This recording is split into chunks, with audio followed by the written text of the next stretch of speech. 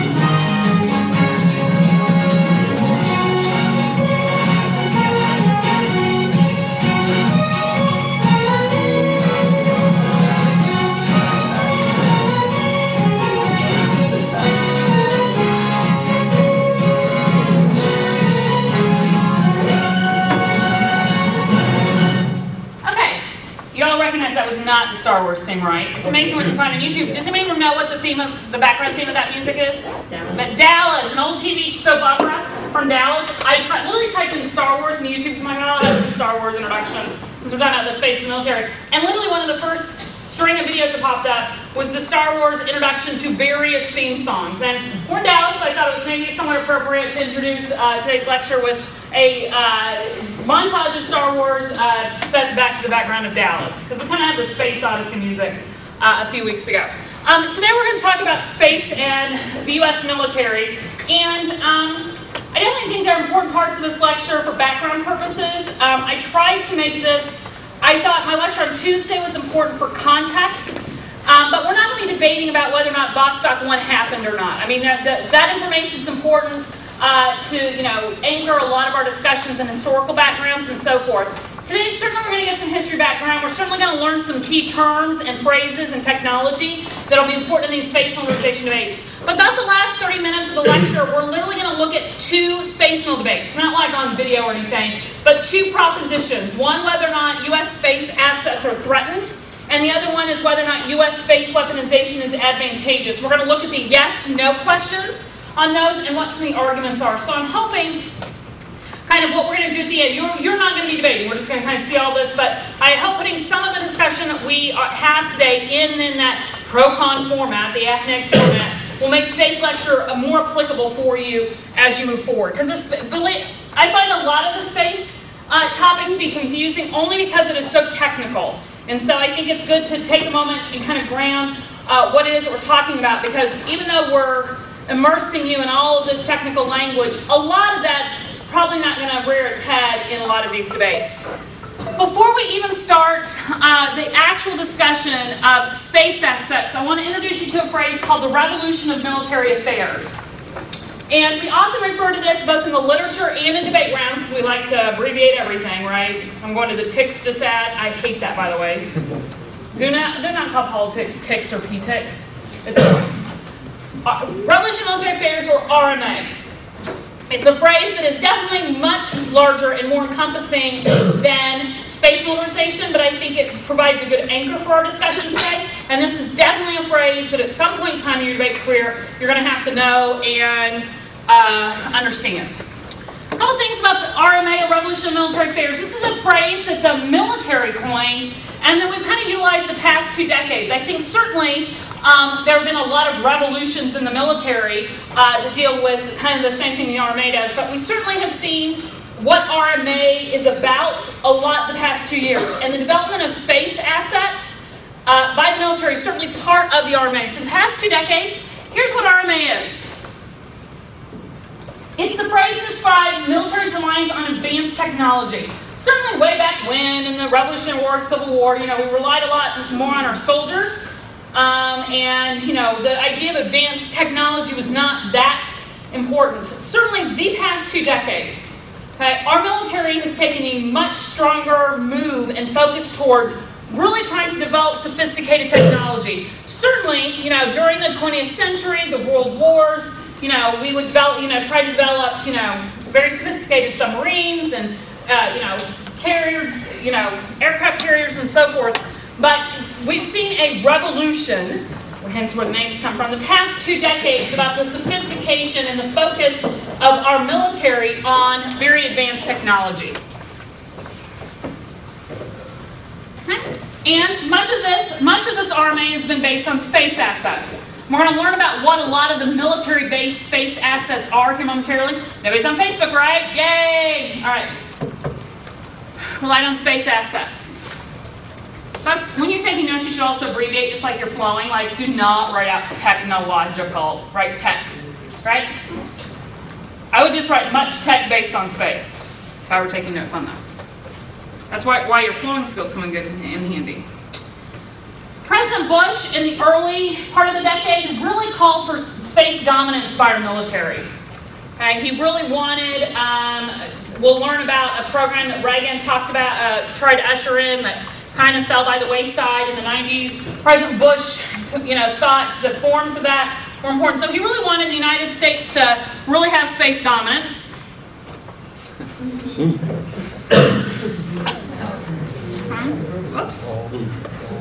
And then Obama has kind of backed off of that. The United States should be the space hegemon. We're all familiar with that word, right? Hegemon?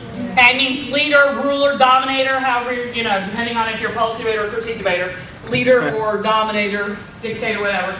And Obama's backed off of this, and again, you also have an abbreviation for Obama, right? You know, BO maybe, capital B, capital O. It's unfortunate, it's not my fault that those are initials, but.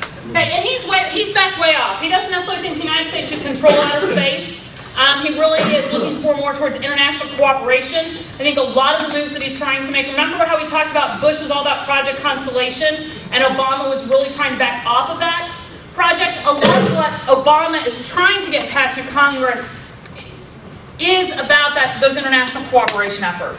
So that's just a little bit of kind of an anchor of revolution military affairs. We've got a military that really wants to advance the technology, very sophisticated research and development going on, um, and a lot of that deals with space assets. And then we, of course, we have to have Obama in his Star Wars gear too. But wait, I thought he was the not. He's smiling in this picture though, like he's just he's just spinning off. He's just playing deep. He's just playing some defense there. Hmm. Over to space assets. So we're going to talk a little bit about some of the history of the U.S. and specifically the U.S. military and what we've done in space. Uh, we're going to watch a couple videos. We're going to talk about how we control our space, as- space assets, like when they go up into space. We're going to talk about what is the function of our military space assets. When we put things up in space, the military uses, what are the various functions of this? So the first thing we're going to talk about is a little bit of the history of our use of space and the beginnings of space militarization. When our military started using space, one goal, we got to protect ourselves from those red commies. And obviously I'm being very sarcastic. We got to protect ourselves from the Soviet Union. Okay? We got to protect ourselves from the Soviet Union. Okay, we feared, especially during the 1960s and 70s, uh, we feared a Soviet attack. Um, and so space was uh, a way of both maintaining a defensive posture so we could know what the Soviets were doing, and started developing in the 80s the discussion of using space in an offensive manner. Yes? Um, have you, do you ever remember the uh, procedure Fluffy I don't, but may, if it, tell me, do you remember what a little bit about it is? I may be familiar with it, I'm just, the name is left in my mind. Right. It's called the Tina Flash Fluffy or like Like if you see a flash in outer space? no, it's a Flash. And, you need us to do it. Oh, okay. No, I'm just not familiar with that. I know about duck and cover like in water gun fights, but that may not be the same. Okay. Um, so there's two priorities. I'm going to introduce you to a word today that's very important, reconnaissance. I hope I spelled that right. I. Unless there's two S's, just a second, let me check my notes. It's two S's, E R-E-C-O-N-N-A-I-S-S-A-N-C-E. I've already found my first spelling error. It takes a long time to type up the notes and then do the prezi, so. So reconnaissance has two S's, so just make a note of that. Okay. and surveillance. These are the two main functions, and we're going to talk about a lot more functions here in a moment, of our early space militarization programs and our current space militarization programs. Reconnaissance is a fancy term for gathering military information. Gathering military information. Just a kind of fancy term for that. Gathering military information is what reconnaissance means. And it's the search for that, the search for that military information. We had a bunch of original space programs, but the one that really kind of anchored our early space militarization days was a program called Corona. Not the beer. None of y'all should have known that that was a beer name. Okay? Corona provided comprehensive, at the time, coverage in spying, surveying, okay, the Soviet Union and the People's Republic of China. Okay, so Corona, like way back in the 1960s, the 1960s is when we, Corona had its first satellite actually successfully turn film back from space. So very quickly, right? Remember Sputnik in the 1950s? Once that started, we were sending things up all the time. So Corona in the early 1960s sent back its first successful set of film from space because we were, you know, keeping our eye on the, on the communists in the Soviet Union and the People's Republic of China. Um, just for your information, the Corona program included 145 launches. So 145 different launches of putting satellites up in space under the Corona program, and it photographed the USSR up until May 1972. So a fairly long program, nearly 12 years, or a little bit over 12 years of filming um, the Soviet Union. Okay, one thing we did get out of Corona is that um, during the 1960s, remember Sputnik took us by surprise? You all remember me talking about that on Tuesday, that, you know, we had no idea that they were going to be able to be out in front of us for space. That hysteria amongst the U.S. government when the Soviets did that first let us believe that the Soviets then also must have had these wicked, nasty ballistic missile capabilities, and the government started saying that there was a missile gap. Okay, meaning that they, we, we assumed that the Soviet Union was way, way, way, way, way ahead of us in return in regards to ballistic missile capabilities. The Corona program actually let us to, gave us information that they weren't really that much ahead of us. So it actually kind of eased some fears and some hysteria that came out of Sputnik in regards to our beliefs about the Soviet Union. I don't know how great these pictures are going to be. Here's one of the images of Corona. Anybody want to take a guess what that is? Look at the center thing in the center. It's the what? Pentagon. One of the first images that Corona sent back at the Pentagon. So we spied on ourselves too, I guess. But obviously we're taking images of lots of things out in our space. You really can't see the images as much. This is a report uh, that's now been declassified uh, about some of the images coming back from Corona. Obviously looking behind the Iron Curtain means a lot of the communist type things here.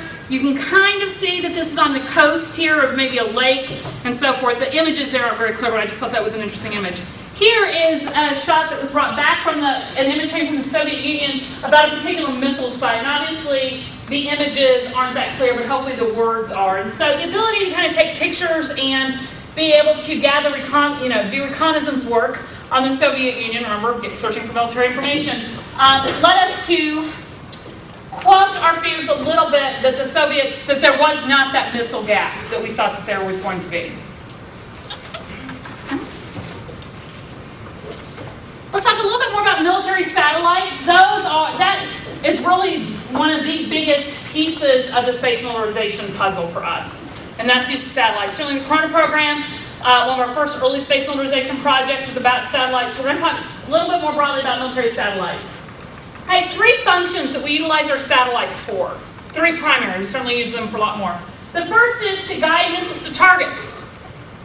Okay? When we're, you know, flying, we've got missiles going, and we've got to make sure that they're headed to, you know, we don't want to, you know, have a missile attack a schoolyard or, you know, the neighborhood. So, you know, we really do try to make sure those missiles are guided to targets like defense, you know, um, defense centers and so forth of our uh, war enemies. Fly pilotless aircraft. Okay, so aircraft and, that do not need human beings to fly them.